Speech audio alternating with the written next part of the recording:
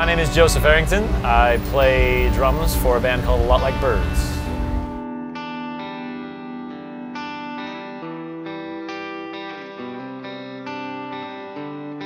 A list of my natural highs are drumming, reading, backpacking, and uh, yeah, there's some good ones.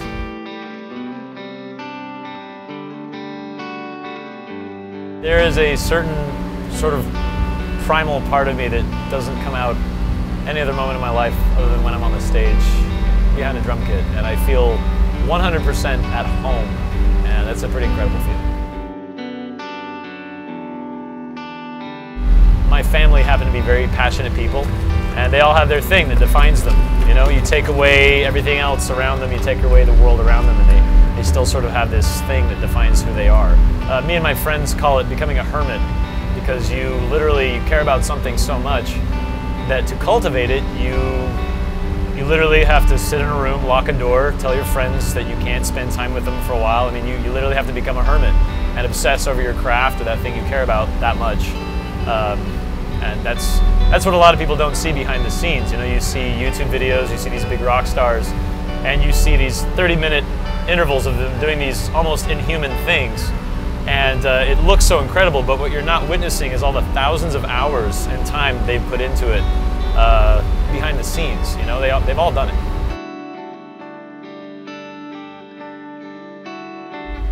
There's sort of this sweeping mentality that, that the experience life offers you is heightened when you take drugs. I like being in control of myself, and I think the best way to perfect one's craft is to be in control. Therefore, I would rather not inhibit that, especially something that means that much to me. There are some dynamics in the world that are actually very difficult these days.